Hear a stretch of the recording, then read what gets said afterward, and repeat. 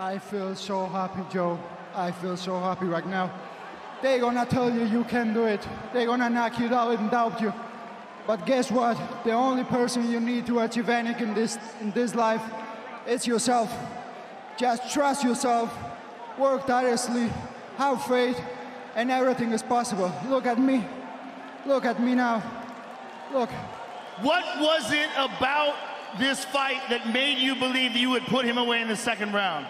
I just know my skills, Joe. I work so hard. I work so hard for this one. I, I, I, I was knowing always that uh, one day I will become a UFC World Champion. So, guys, it doesn't matter where you come from if you know where you're going. It's much more important what's in front of you than what's behind you.